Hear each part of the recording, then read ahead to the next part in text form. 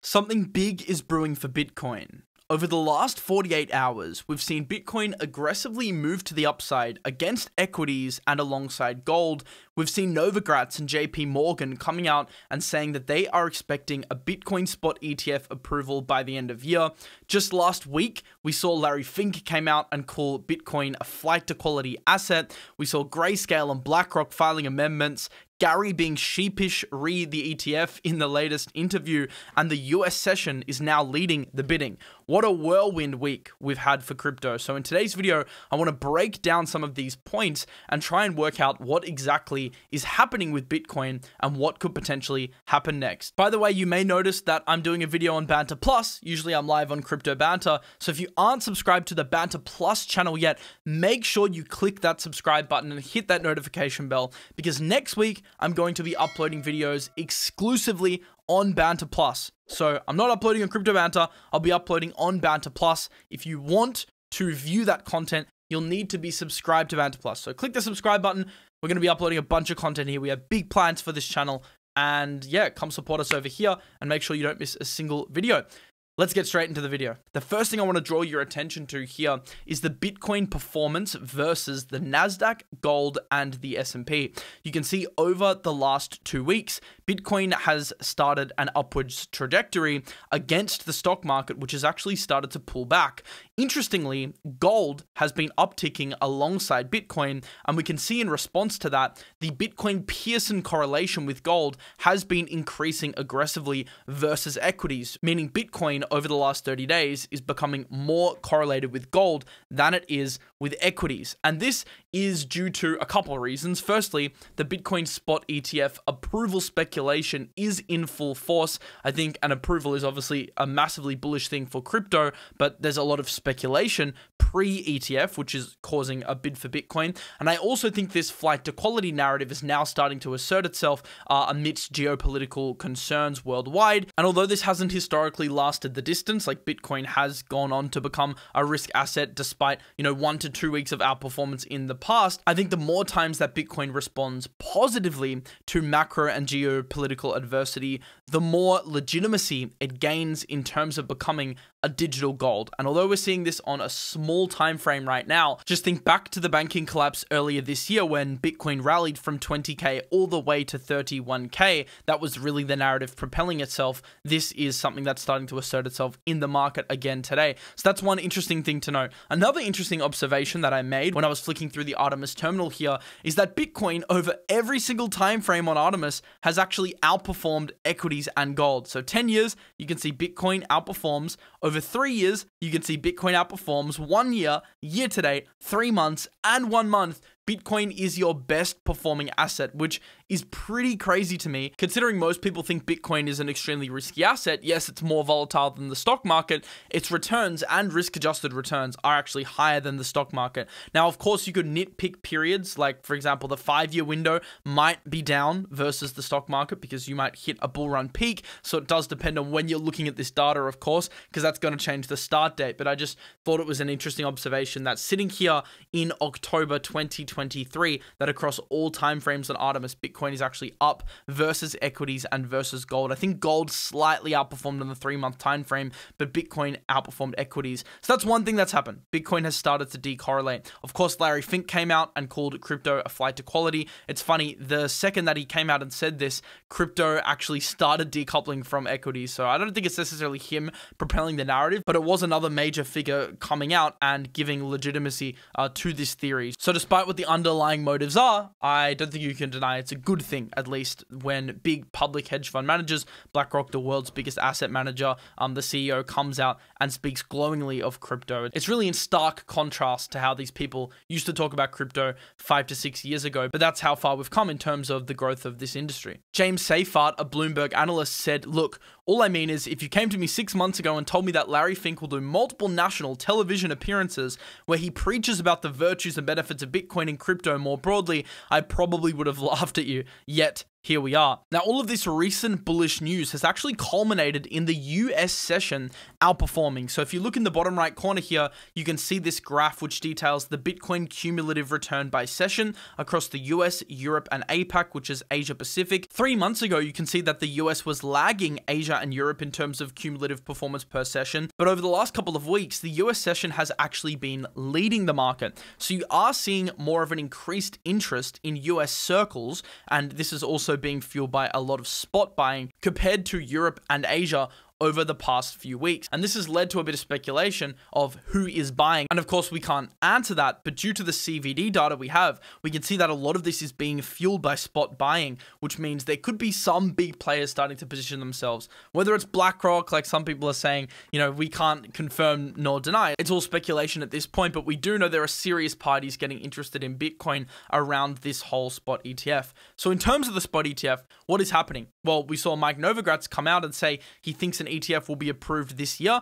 in 2023. We saw JP Morgan also come out and said they expect a Bitcoin spot ETF to be approved within months. We saw Grayscale filed for an amendment. We also saw BlackRock and Fidelity file for their respective amendments. And that kind of leads to a situation where the probability of a Bitcoin spot ETF approval increases because the fact that they are willing to talk and amend with the SEC gives an indication as to the fact that an ETF will be approved. This implies clear communication between both parties in terms of what amendments are required to make a legitimate claim here. And all this has culminated in James, the Bloomberg analyst, applying a 90% chance of approval by ARK's January 10th deadline for a Bitcoin spot ETF. So we know the first last deadline for an ETF approval is on January 10th, 2024. That is in 82 days' time. In the next 82 days, there's a 90% chance of an approval. And a Bitcoin spot ETF does two things. In the short term, it propels this speculative bid into an ETF approval trade. But in the long term, it also gives you these sustained flows from things like pension funds and institutions and broader flows into the Bitcoin ecosystem over like a three, five, 10 year period that currently we don't have. So it's a short term catalyst and it's also a long term catalyst. And I've seen the meme going around Bitcoin spot ETF approval trade, bid, Bitcoin spot ETF approval, bid. Um, so basically implying there that it's bullish either way. It's a buy the rumor, buy the news event, unlike some buy the rumor, sell the news events. Of course, if things start getting a little too overheated around the time of an approval, I think pullbacks are definitely possible. In fact, I wouldn't just say possible, I would say probable. And in previous cycles, we have seen in pre halving years, we have had major corrections. Whether that happens in the next couple months is yet to be seen, but we do know at some point we are going to get a Bitcoin pullback into the next halving. It's not like this spot ETF is going to rally Bitcoin all the way to 100k instantly. I think there's still going to be pullbacks, there's still going to be accumulation opportunities. So if you're sitting on the sidelines now and you're feeling FOMO, we like, oh, I'm not, I'm not in the market, I don't own enough Bitcoin. I definitely wouldn't be panicking if there's one thing the market has taught me over the last few years, there's always another opportunity around the corner. And in terms of altcoins, they typically don't start outperforming until Bitcoin is well into its next cycle. So you have a lot of time. And although Bitcoin might rally against alts a little bit more than you'd like, if you're holding altcoins, there will be a time where the tide shifts. And that's where you are exposed to most of your upside potential. It isn't necessarily in these early stages where you need to panic and you need to worry about missing out because this is actually great. We want Bitcoin to get liquidity. We want Bitcoin to get mainstream media attention because that gives the overall industry legitimacy, thus liquidity, and that does end up siphoning down into other areas of cryptocurrency. So maybe Bitcoin dominance keeps rising for a little bit longer, but it's definitely not a reason to panic. It's actually a super healthy time for the cycle and a phenomenon that we've seen the last two cycles as well. Now, I want to talk to you about an indicator that's been causing massive moves in the Bitcoin price. Not many people are looking at this indicator, but it really does end up simplifying the crypto market. And I found it an extremely useful tool to be able to predict upcoming crypto moves, but also quantify past crypto moves. So I'm about to show you that. Just a quick shout out to one of our official show sponsors, KyberSwap. If you do want to level up your trading game, you can use their tool, Kyber AI, in order to find out whether a coin is bullish or bearish according to on on-chain indicators. In front of you, you can actually see Bitcoin here. Of course, this video is about Bitcoin. This is the wrapped version of Bitcoin, so it's the token on the ERC 2020 blockchain. And you can see how people are trading Bitcoin on Ethereum. So you can see the types of sells, buys, sells, the frequency of sells, the trading volume on chain, the net flow to whale wallets, all this sort of really cool on chain data. And it's super valuable data for smaller altcoins, especially because you can start to get uh, a feel for where momentum is trending in the market. And of course, seeing where momentum is going using the Kyber score here, you can try and see whether a coin is flipping from bullish to bearish or bearish to bullish momentum. And that can be super valuable in terms of lining up confluence with your trades. So there's a link in the description to get early access to Kyber AI. I think it's an amazing platform. And KyberSwap also just launched some of their pools for the Scroll network. So Scroll is a layer 2 network on Ethereum. It just launched a couple weeks ago. By the way, I think if you're using the network now, there's a decent chance that there could be an airdrop on the table, a little bit of extra alpha for you. But if you do want to get involved with the network, there are a bunch of pools paying some pretty crazy APRs like ETH USDT here 75%, Bitcoin ETH 57%, like just some crazy rewards right now because it's a newly launched network on Kyber Swap and yeah, you can deposit liquidity into these pools if you'd like. Once again, the link to Kyber Swap is in the description. Thought I would mention that considering that is a newly launched product of theirs. So I mentioned an indicator that I was looking at and it's very simple. Bitcoin follows liquidity. Bitcoin is extremely sensitive to liquidity, meaning when central banks are injecting liquidity into an economy, Bitcoin responds well. Bitcoin's a sponge. When it's raining, it soaks up the liquidity.